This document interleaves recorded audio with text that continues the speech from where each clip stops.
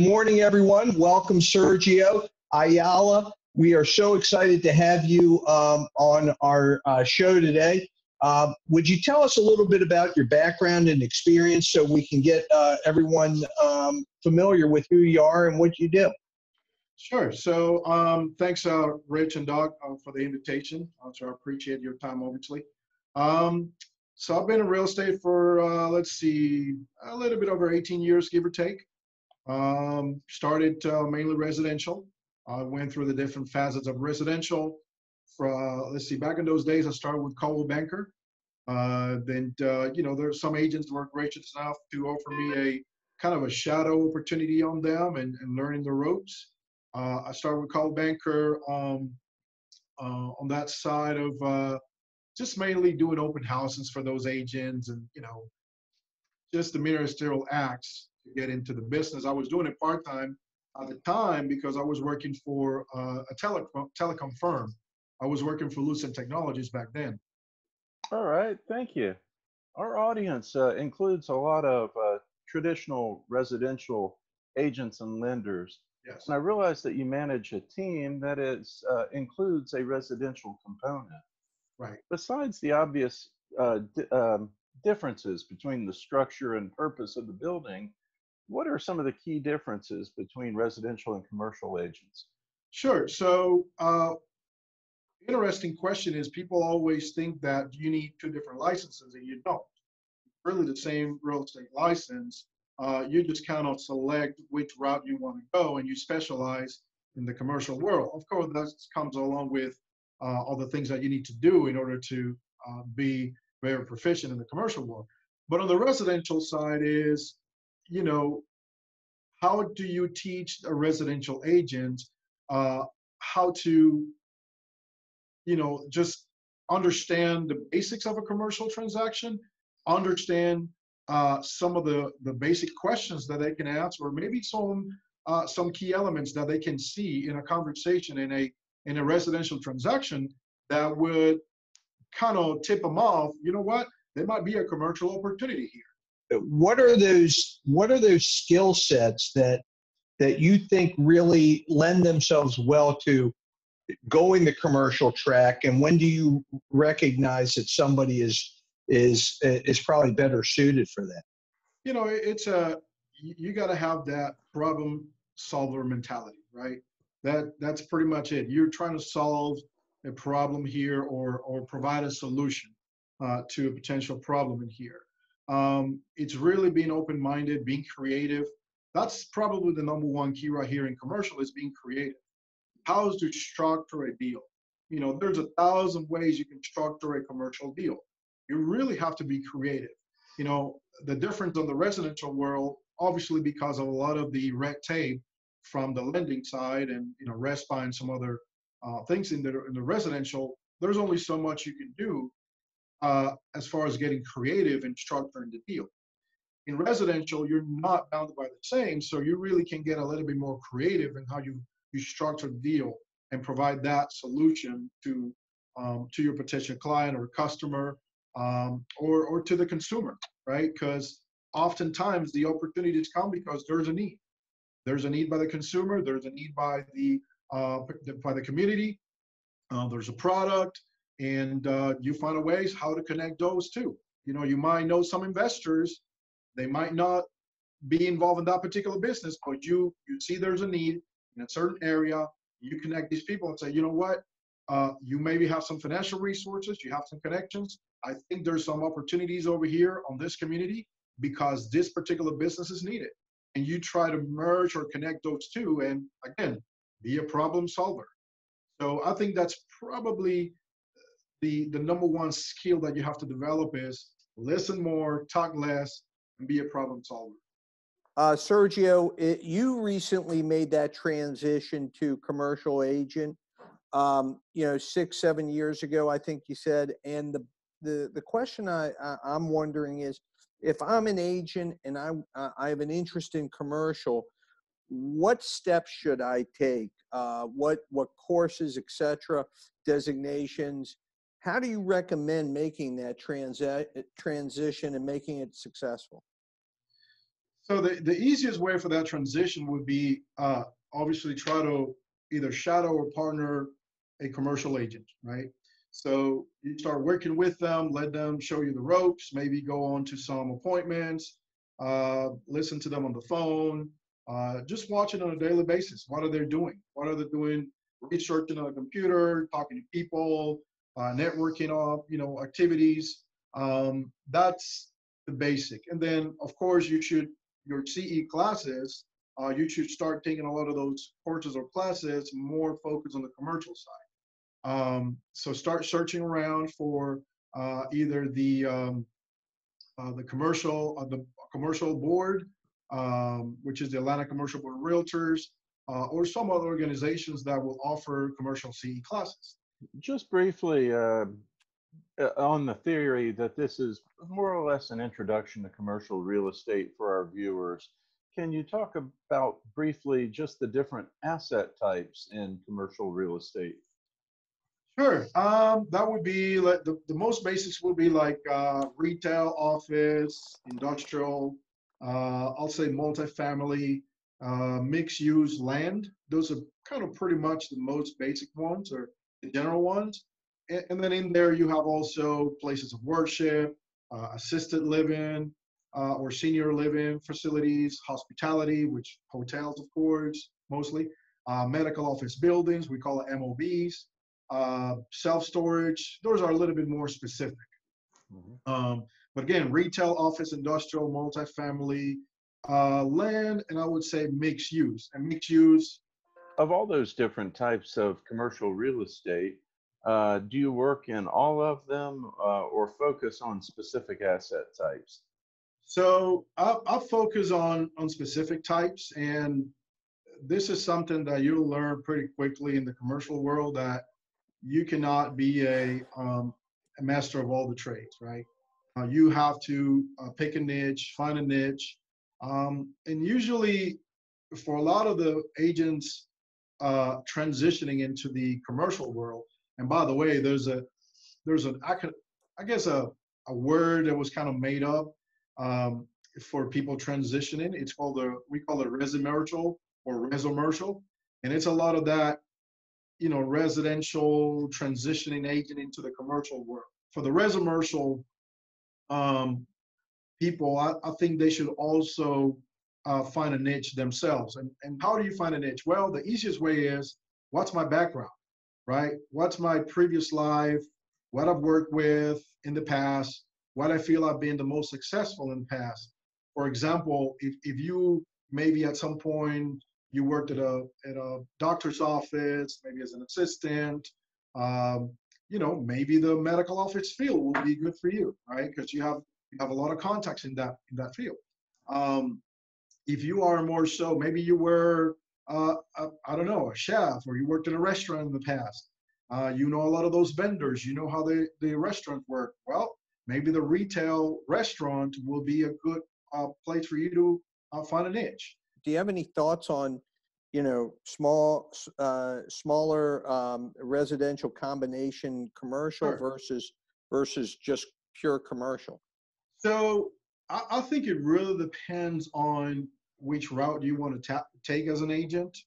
Um, I, I find that if you are in the younger segment, right, maybe a, a little bit on the millennial side, even younger, uh, a lot of them, because maybe they still have some financial support at home, uh, or or maybe they still have a part-time job, you know, going directly into commercial with a big brokerage might be an option.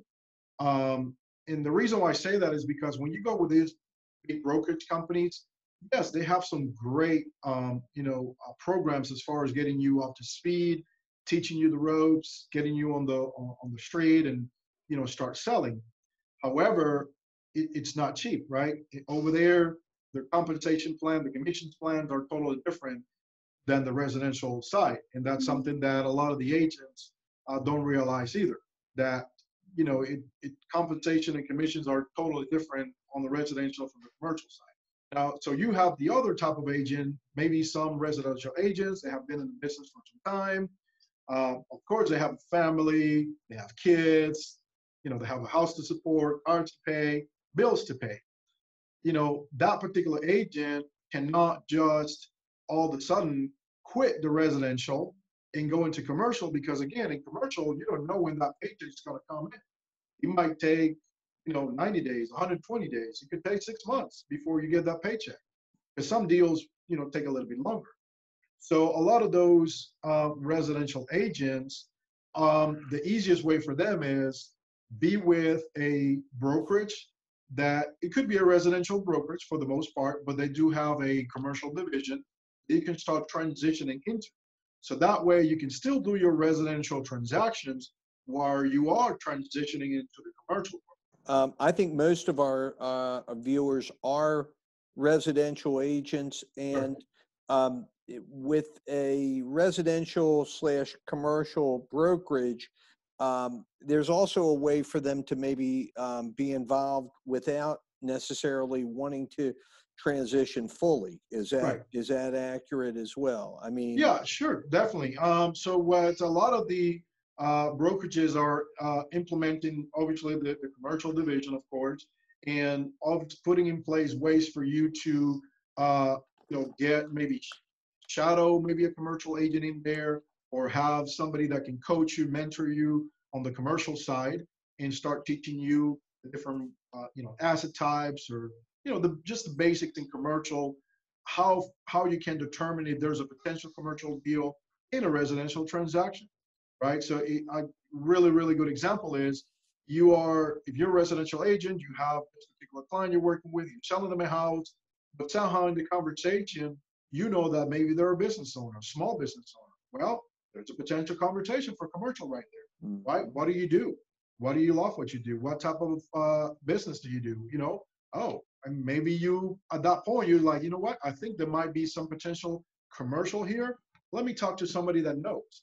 And the, the residential uh, brokerage will put you in contact with that commercial division and say hey talk to this particular agent maybe shadow this agent or maybe partner up with them. You know let's work on a referral basis. Or maybe talk to our coach or talk to our um, mentor But can you just kind of touch on the way uh, real estate gets evaluated and um, and um, both from uh, an acquisition and a lender standpoint?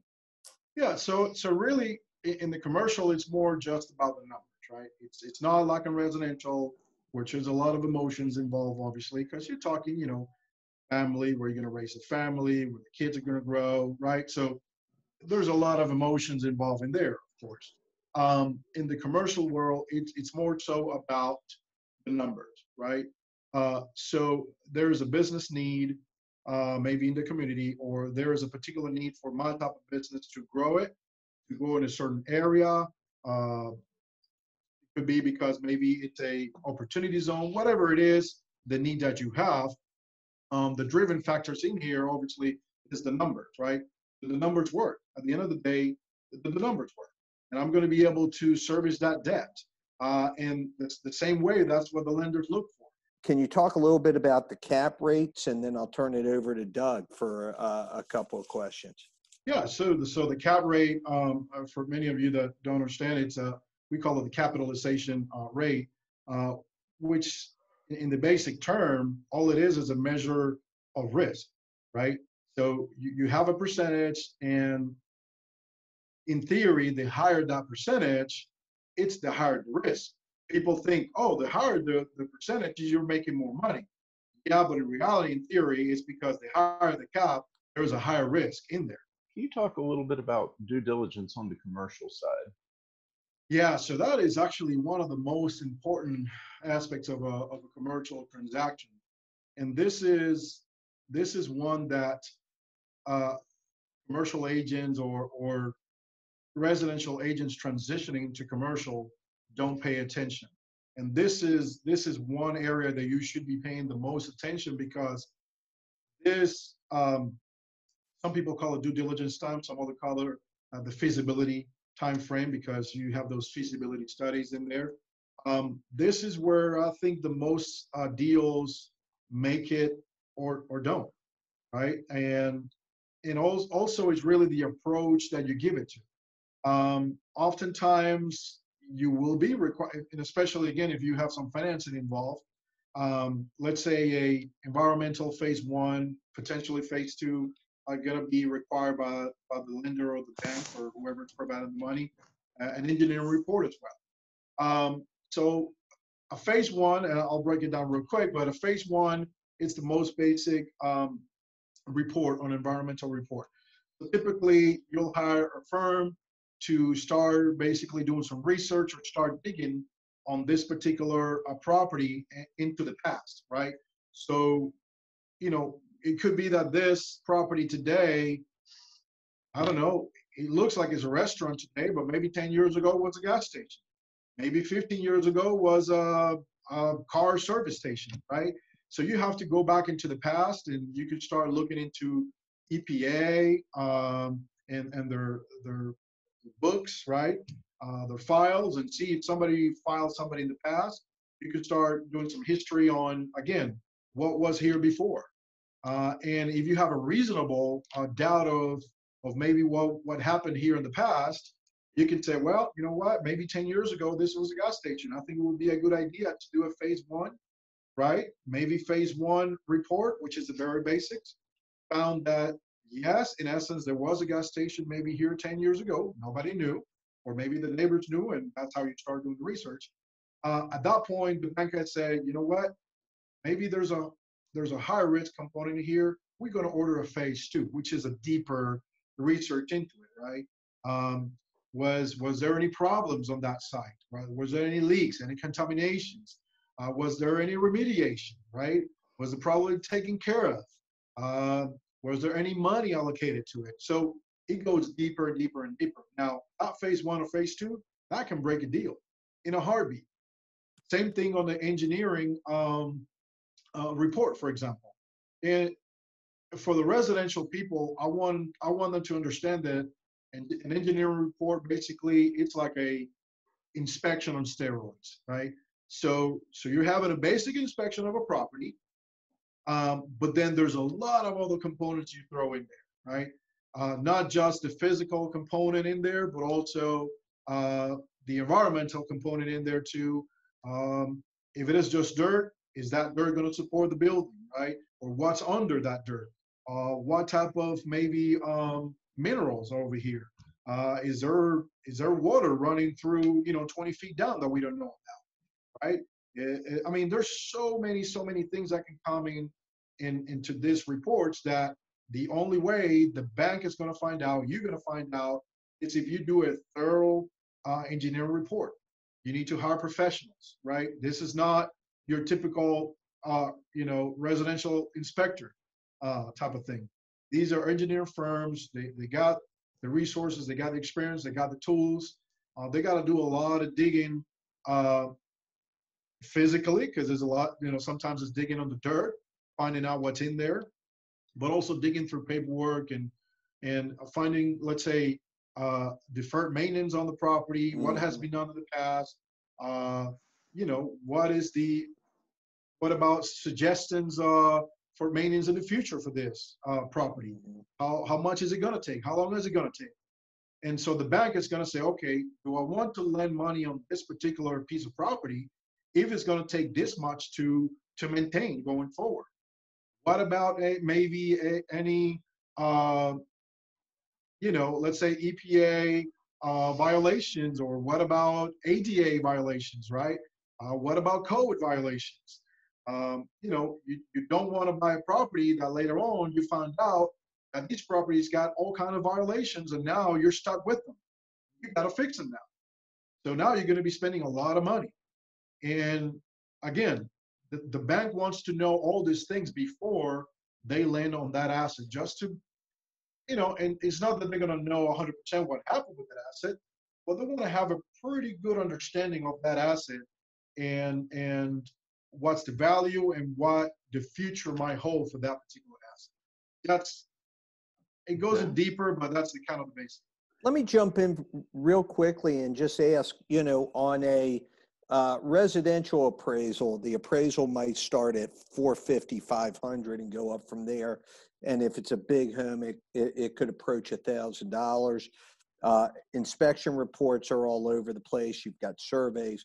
But when you start talking about commercial, just to give our audience an idea, where do commercial appraisals start?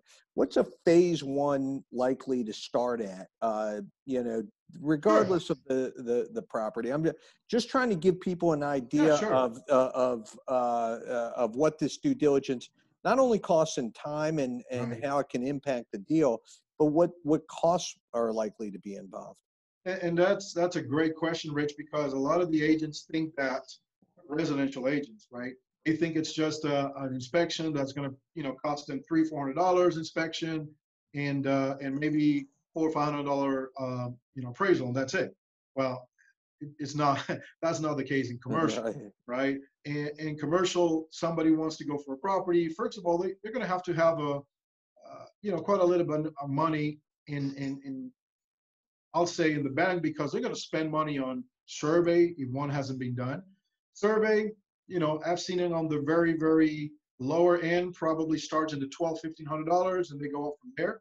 Um, you know, a five acre with, you know, buildings and and and pavement and whatever you have in there can run you four or five thousand dollars just on a survey. Pretty easy, right? Uh, phase one environmental, on the cheaper side, I've seen them maybe somewhere in the twelve to fifteen hundred dollars to start to Mhm. begin with, and then go up from there, right? Then Mhm. if you climb up into a phase two, you might be talking ten grand. Who knows? Because on a phase two moving forward, maybe there's some soil tests to be need to be happening. You know, some boring, digging. That's time and money, right? Mhm. uh, and and a lot of the agents and a lot of those clients don't understand that if you're the buyer, you're paying for all these things even before you think that there might be a deal, right? You're you're spending all this money during your feasibility time or due diligence time, and you have no clue at this point if you actually are going to close on that property or not. You might spend five, 10, 15 grand on this property that you will never own and Mhm. and I think it's super important for agents to understand that that particular you know potential client they need to have some money allocated for this feasibility or due diligence timeframes.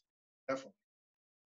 Back to uh, one of the things that you touched on in the uh, due diligence, you mentioned things like code, uh, code violations, and uh, one skill set that uh, differentiates commercial and residential is dealing with local municipalities. You don't see that much on the residential, but it's uh, a component on the commercial side. Can you talk to that briefly? Yeah, it's super important for you to understand the basics uh, of of what the uh, the planning and zoning department of the of the different counties uh, work and uh, what they look for. Um, what are their plans as well? I, I think it's more important to understand how is their future looking, right? Let's say I give you an example for some of the people that uh, live on the north side of Atlanta and maybe understand uh, or, or know these cities of like Sugar Hill, Suwanee, you know, Duluth. Uh, the, these are Buford. These are cities that are actually gro- uh, growing their their downtown components, right? Kind of creating sort of a downtown feel, but you know, with enough uh, you know interaction of, of businesses and the downtown components. So, and this is really to prevent people from driving all the way to Atlanta to have more of a downtown feel, right? Now, if you if you look at a lot of these uh, cities, if you you can actually go to their websites, the county or the city websites, and I think the first thing I would probably look for is uh, their master plan or, or comprehensive plans. What are they looking looking to do for the next 5, 10, 20 years as a city, as a community? What do they want to invest in? Uh, you know, how do they want this community to look? You know, in terms of uh, aesthetics, right? Do they want them to to have like an old town feel with bricks? uh, You know, a lot of trees, parks for the for the for the families to interact. You know, and so if you go to the master plans, comprehensive plans, you'll understand what these cities and these counties are looking for. That's probably an easier way for you to know how to interact with them. Because again, if you look at these uh, master plans, comprehensive plans, uh, you understand what they're looking for in certain areas. that's going to cut a lot of time when you talk to a potential client that tells you, "Oh, I want to go into the Sugar Hill area and open my car dealership." Well, let me tell you something. It's not going to happen close to the city. Simple, right? In, instead of me wasting time, waste, wasting their time, a, a potential seller or buyer's time, I already know these answers. Why? Because I've been doing my research and knowing the basics of what these cities and these counties are looking for, right? Um, so again, it's super important that you know what what stands they have in terms of changes and, and aesthetics. Uh, you know, some counties or some cities are more, um, I'll say, liberal, if you want to call it, or more open-minded, uh, more flexible. Uh, some cities are more conservative. Um, you know, let, let's say I live in uh, Forsyth County, and Forsyth County is a pretty fairly conservative county. Uh, you know, you there's certain businesses that don't exist in Forsyth County because it's a fairly conservative county. Versus if you go to Fulton County or maybe Gwinnett County, some of those same businesses, yeah, they'll you'll be able to open multiple ones over there. I don't want to be specific on, on a type of business, but you know, again, trying to find out if, if those cities or counties are either on the conservative side or on the more open-minded, you know, um, I guess uh, side, if you want to call it, open-minded. I don't want to say liberal, but more open-minded. All right. And and probably attend some of those, uh, uh, you know, meetings, the planning and, and, and zoning board meetings. Uh, attend over there, see what type of businesses are coming through or what's being proposed. Uh, you know, who's looking to rezone what, what particular reason. You know, you should get involved not only as an agent but also as a citizen uh, uh, as a resident of that city or county, you should get involved. That's a way of, of you knowing what's happening in your neighborhood. What is the impact of COVID 19 going to be, you know, sort of short term and long term on commercial real estate uh, in general and maybe um, uh, in um, metro Atlanta? I think uh, I think commercial real estate is probably going to be uh, the one that's going to get hit the hardest, um, especially because of uh, the financial dynamics that are involved in it. Right, you, you're just not talking about a you know two hundred three hundred thousand dollar home that you can negotiate uh, some deferments or you know on your on your mortgage or stuff like that. Yeah, those those uh, those lenders you know will negotiate sometimes too on on, on the commercial side but there's so many so many components um, you know you're you're talking from the asset to the business itself to to the um, all the resources all, all the vendors to employees. I mean there's so many moving parts. It's not just a house and a family that lives in a house right? There's so many moving parts in a commercial transaction or commercial asset itself. And this is maybe going a little bit sideways um, but it said that in a residential transaction, when it closes, um, there's an impact somewhere around eighty to ninety thousand dollars on the local economy per every single transaction that it closes on a residential deal. And it's because you need to understand all the components, right?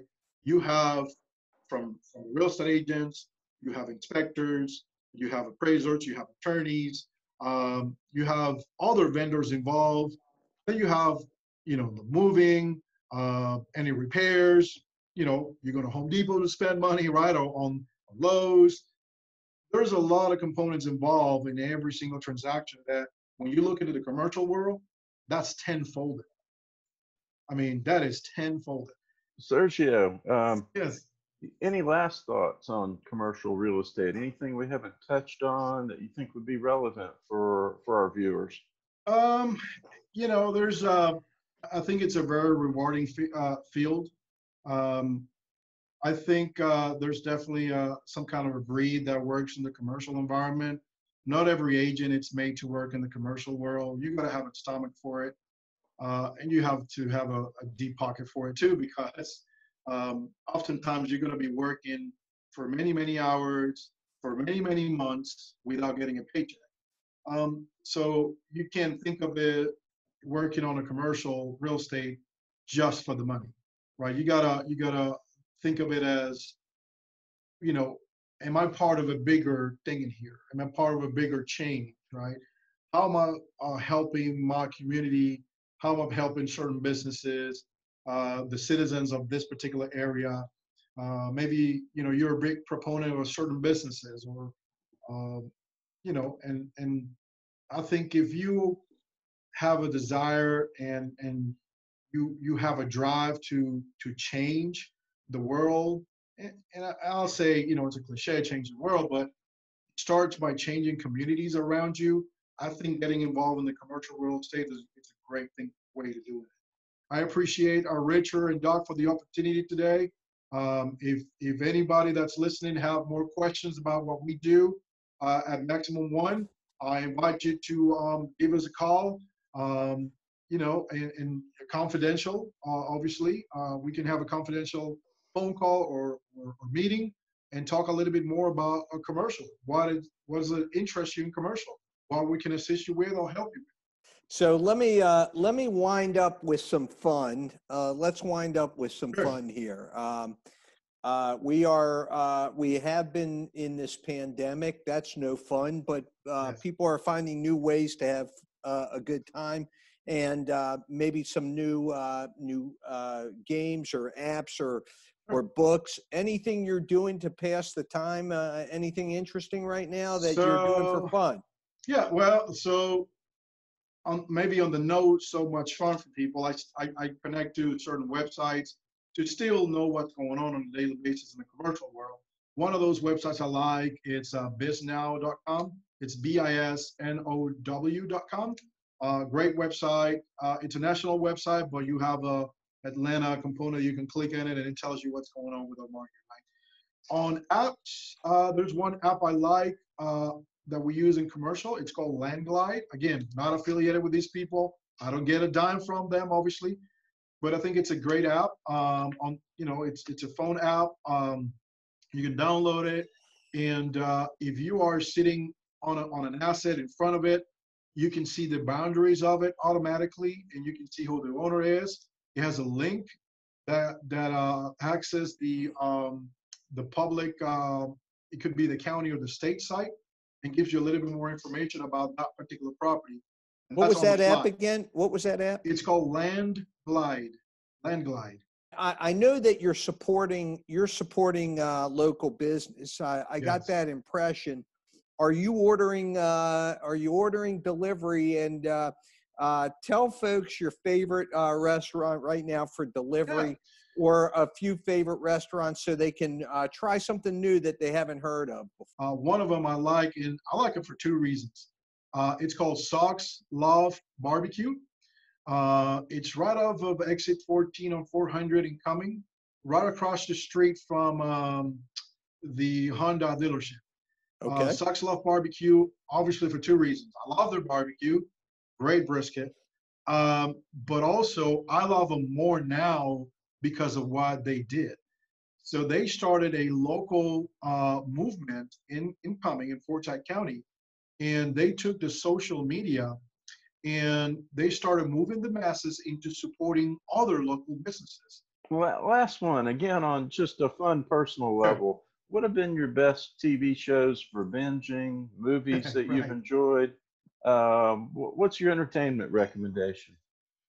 So binging, uh, I have a few on the Spanish side that I binge because I can watch it with my wife. Uh, but one that I recommend binging on, it's obviously Ozarks. Uh, Ozark because uh, mainly it's it's a really interesting lot lot of action, of course, in there, um, but also because it's it's all filmed here in Georgia, right? And uh, They're also using real estate for some very interesting purposes, aren't they? very interesting purposes, very creative purposes. Uh, uh, there's a recent movie I watched. It's called Extraction.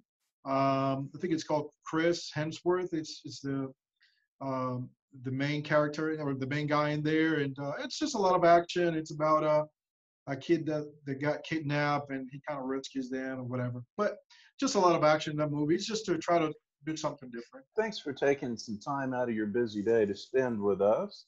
Thank We you, are guys. Richard Shafritz and Doug Dean from Shafritz and Dean. And we've had the pleasure today of speaking with Sergio Ayala from Maximum One Executives uh, Real Estate and giving you a brief overview about commercial real estate.